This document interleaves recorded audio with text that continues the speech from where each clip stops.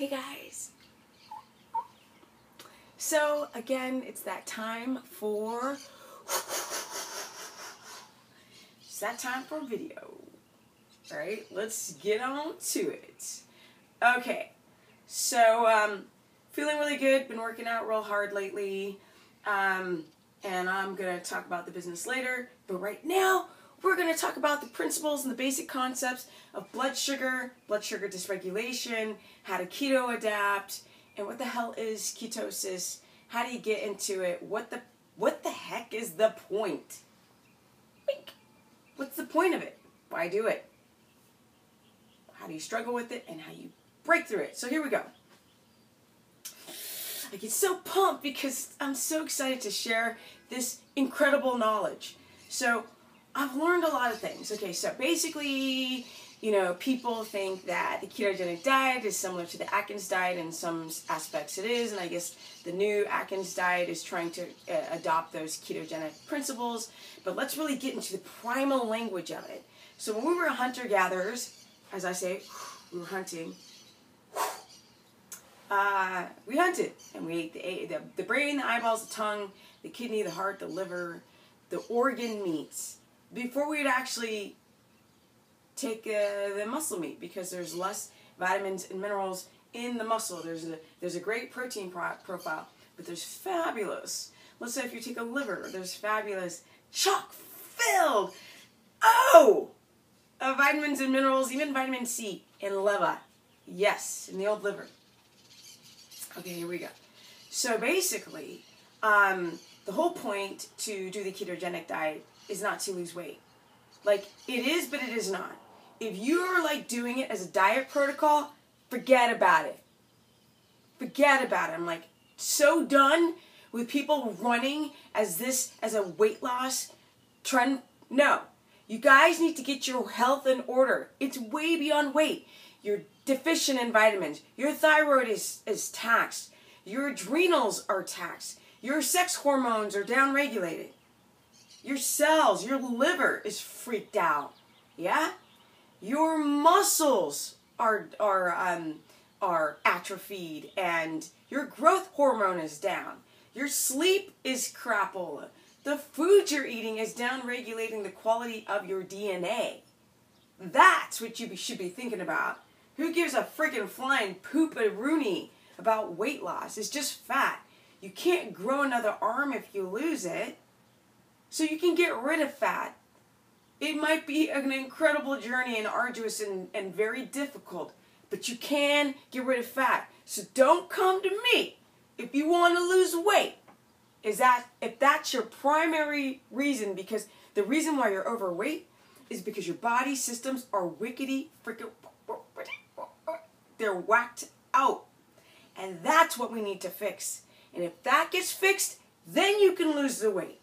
You got depression, you have libido, low, you have um, infertility going on, you've got diabetes, you've got heart disease, your kid's got ADD, you've got celiac disease, weak gluten, you got one of these darn things, you got cavities in your mouth and you can't see properly.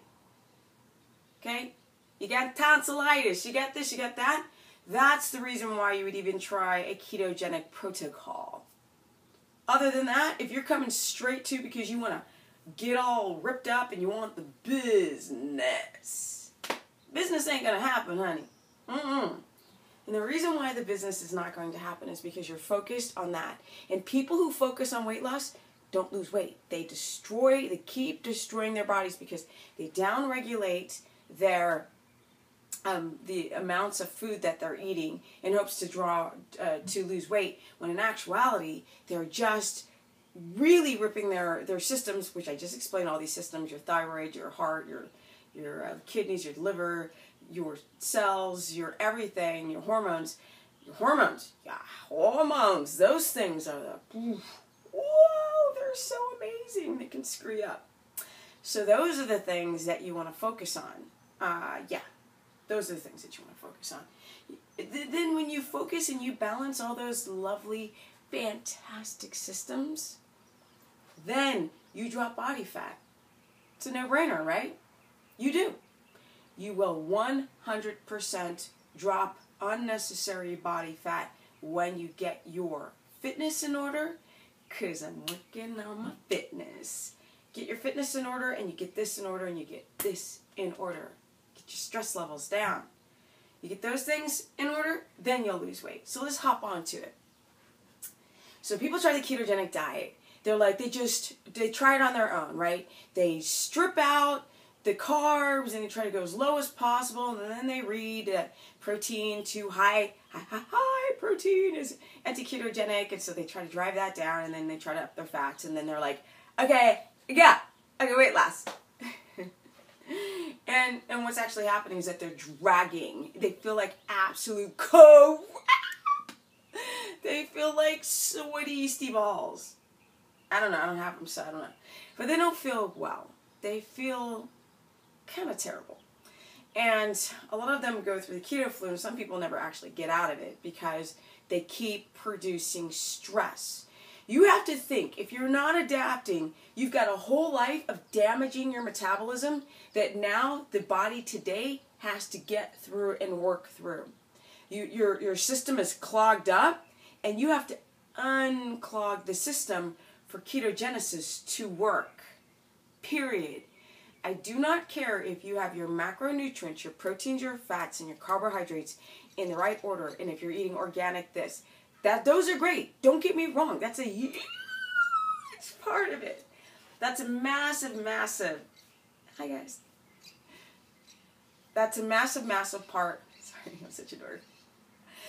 That's a massive part of your your adaptation your process of trying to, as I say, cross that bridge over into getting your brain to understand ketones, which are units of fat.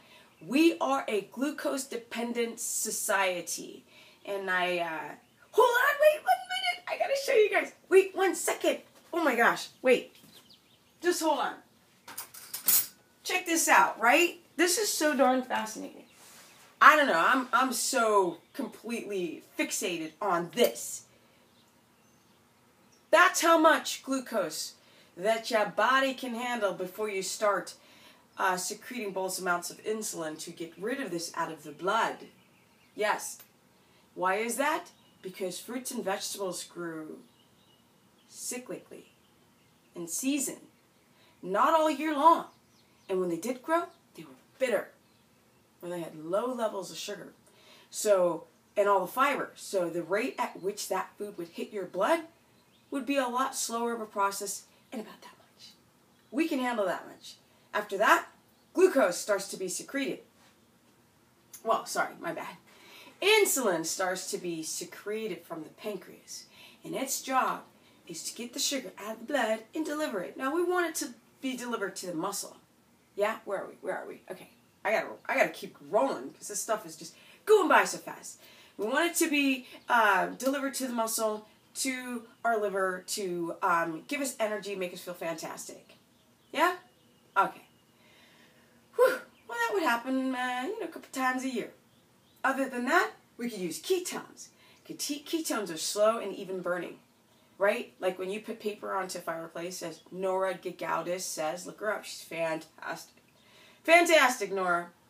Uh, anyway, you put uh, paper onto a fireplace and or a wood stove and it burns real high real fast and then you got to put another piece of paper in there because that is not going to heat a house right one paper you got to be like oh then another one. What is that?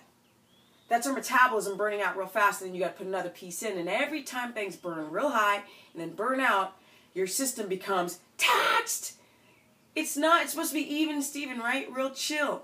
Your cells your body your systems your hormones need to know what to do.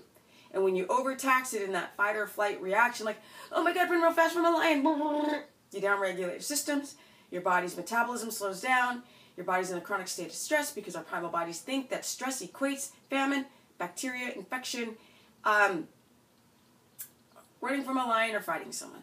That's it. It's not about cell phones and, and bills and TV and overtraining or undertraining or eating garbage food and all these uh, environmental toxins, that becomes a new stress to the modern human. But yes, we as modern humans are still primal in our bodies exactly the same as 100,000 years ago. Yeah, yeah, yeah, yeah, yeah, yeah, yeah, yeah, yeah. yeah. I cannot, I cannot when I do these videos be calm and be all serious. It's just not me. It feels so dorky to even do these videos. Like, I feel like this is the weirdest. I'm talking to myself right now, but really I'm talking to a lot of you. And I'll be like, so here we have the graph on the background, and I should be very professional woman at 46. But I just can't, because it's like the dork in me. Yeah, yeah, yeah. All right, I know everyone right now is like, get back to the science. Okay, so basically, there are you know your body's become downregulated. You you you really would like to deliver your glucose the that ooh, hello this much, a couple of these, a few times a day, into the muscle, so turns into glycogen and is is contracted and used as energy. And the same thing with the liver to feed your fledgling brain. That's fantastic. That is doable. And that would be sort of what the paleo diet is trying to get people to understand that if you're eating around 150 carbs a day and you're eating uh, fibrous, um, slow burning carbohydrates, then you're going to get that nice little tiny supply, but with fats. Mm, um, you're going to get enough glucose that your brain can handle to stay glucose dependent without the crashes and without overtaxing your body and creating a shortened DNA, age, and inflammatory diseases. And there's a whole host of them. So, but a lot of people are so damaged that they're ready to cross that bridge, bink, over to ketosis land, which is a fantastic land to be on. I personally make that choice, y'all, to stay and not refeed. For the athletes out there or for the young guys, because I get some young guys watching these videos, they're like, dude, man, I do cyclic ketosis and I do backloading and I do carb ups. And I'm like, that's freaking awesome. Go over there to do it. This right here is ketosis land. So if you want to learn more, then pay attention. You don't like it? Okay, guys. So here we go. Um, now, there's things that we're deficient in. Where are we? Where are we? Okay. So we're deficient in uh, here's things like people are like having sugar cravings. The reason why you're having sugar cravings is because your body's addicted to glucose, or maybe you become insulin resistant, which means that you have too high levels of of, um, of uh, blood sugar, and now your insulin is not doing a very good job. So that's a problem. Then we have people who just produce too much insulin, and then we have people who have too low blood sugar. These people are hypoglycemic all of these different conditions of blood sugar dysregulation tax and freak out your hormones, uh, thyroid glands, things like coffee, things like bacteria, mold, toxins in foods. Um, all these things can can exasperate and make these symptoms worse. So you're tired all the time. You're tired, which then affects your reproductive system, which downregulates guys, testosterone, and women. Because I'm reading so much about testosterone in women and libido. We need enough testosterone we produce in our ovaries and in our adrenal system. So if your adrenal glands are taxed, your testosterone is going to go down, women, and your libido is going to go down. Men, it's already a no-brainer. There. So I, keto coach. I talk to so many men, and right away they start hitting 38, and they're like, "Yo, like this, this, the testosterone is going down," and they may not realize that they've got low D3. But that's another subject in another video. We're going to talk about blood sugar dysregulation, how to keto adapt. You guys, it's all about potassium. Potassium is not only just an, electrolyte that keeps a, keeps a balance between cells, but it also curbs your blood sugar dysregulation in the context of taking uh, blood glucose and putting it in places that it can be stored, right? Now, blood glucose converts into fat in your fat cells, but it's stored in your muscle and liver as energy. And this is what we want when you are craving sugar, it's because your body doesn't have it's not a it doesn't know how to balance its blood sugars. You're either high or you're low. Well, obviously I'm trying to drive ketogenesis, so you would be not dependent on sugar whatsoever and your whole body would heal.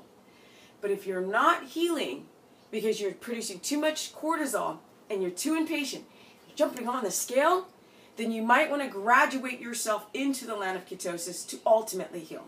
That's another video. Potassium is going to be the mineral